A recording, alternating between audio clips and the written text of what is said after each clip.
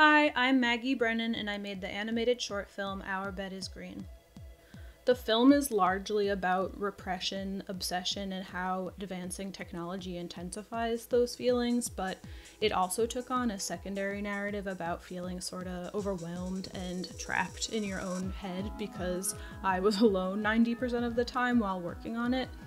And of course, isolation has become a regular state of being for a lot of people this past year. So I think more than ever, this story might connect with people, and I'm just really, really excited to share it with everyone.